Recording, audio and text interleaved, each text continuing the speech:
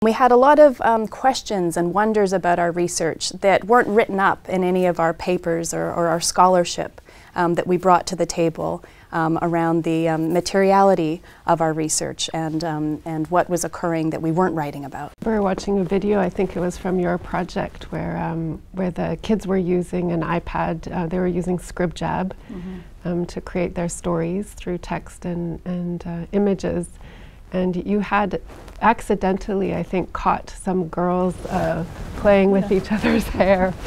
And uh, in our normal methods, we can't really document this playing with the hair, but we all felt that this was an important part of their, of the girl, the children's affective engagement with each other, and and couldn't find methods that allowed us really to grapple with that and to understand how and why it was important.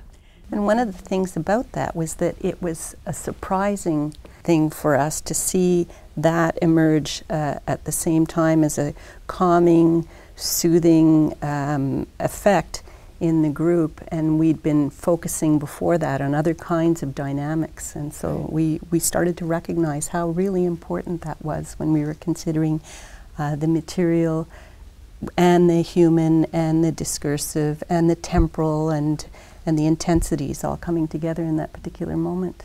And that um, there's a whole bunch of theories on one side and a whole bunch of theories on the other side.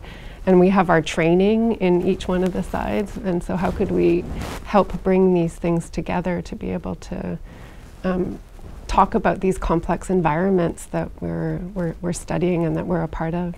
The thing I liked about it was the interdisciplinarity. I really didn't ever think in my career I would work with a math educator or early childhood or, or the other fields. And it's just been consistently interesting to, to work with people and to understand a little bit about other fields. I think other aspects that sustained us are also that we have in common uh, that we're all, you know, mothers and, um, and women together. And there was uh, a lot of um, we found each other in those ways, and I think that helped to sustain each other in our conversations that we had that weren't always about work. and that was, that was a nice part of the relational approach. In academic research, when you think about putting a book together with this many people, it's obviously going to be an edited book. And certainly we each had our different research sites, and so it was sort of natural to think of it that way.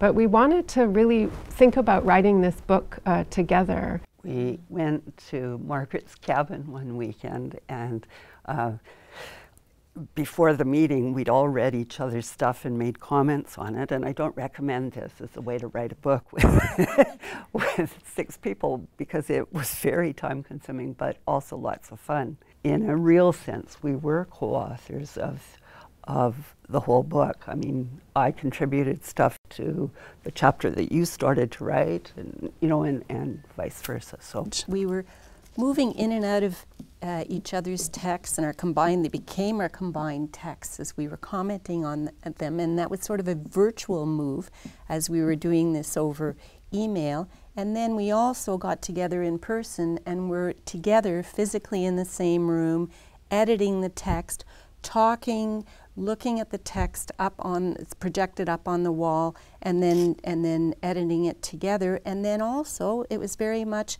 a bodily uh, experience because we were together over a few days and we there was a lot of food and drink involved in this and we went for walks a number of uh, lovely walks together and had conversations about all sorts of things and kept coming back to this text that we were weaving together and moving in and out of. Well, we're trying to find something new.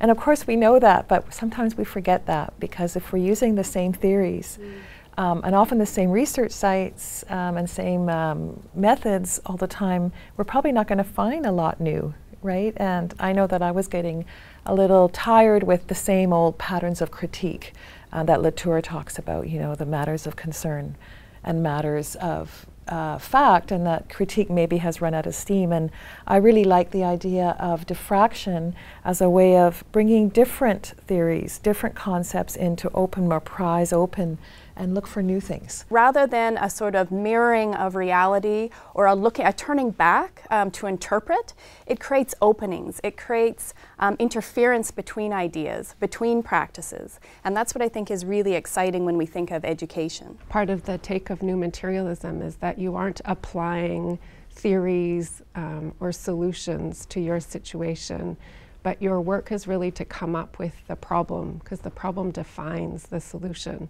So if you don't do that backtracking work, um, that coming together, figuring out what the problem is, um, you're not doing new materialism and you're, you're certainly not doing anything interdisciplinary.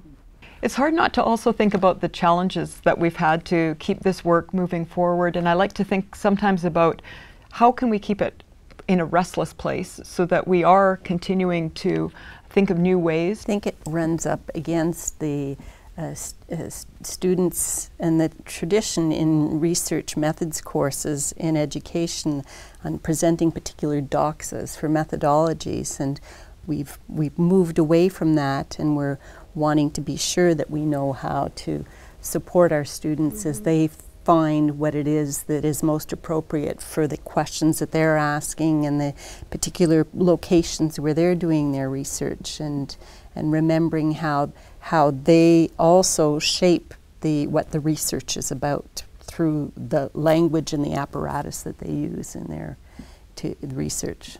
It's true, like our students um, are but bravely diving in, um, and in a certain bravery that they have that they're just going forward with this and we're kind of i am anyway trying to keep up. To me that uh, we have certain structures and ways of being that are quite embedded in being teachers and looking at how we can best understand knowledge and knowledge making practices and we tend to fall very heavily onto representation, which tends to really um, drive a lot of our thinking, in fact. In, in, and our pedagogy. The um, new materialism helps us think about that because instead of thinking about our intellectual work, even our innovations, as displacing what was there before, which is a common, uh, common way of moving forward in, in all areas of academics, where now we're going to do post whatever because we're throwing away the stuff that came before. So you're always being sequential about your way forward.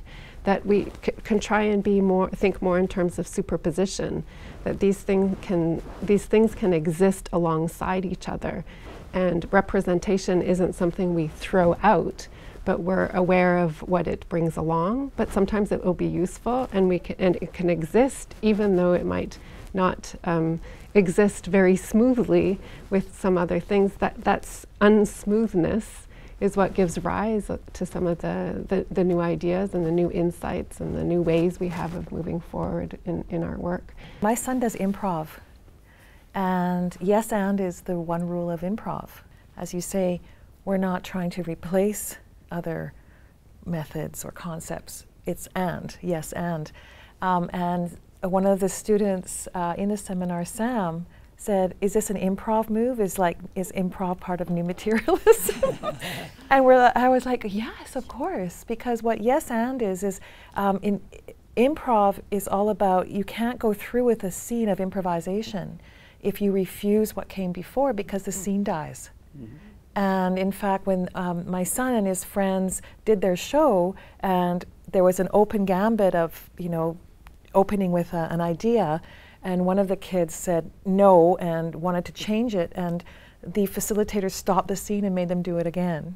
Because it's the only rule of improv is that you have to build on and respond to what what the offering is of the other mm. in the room, whether a human or non-human. So I thought, well, maybe we could do an improv version of new materiality.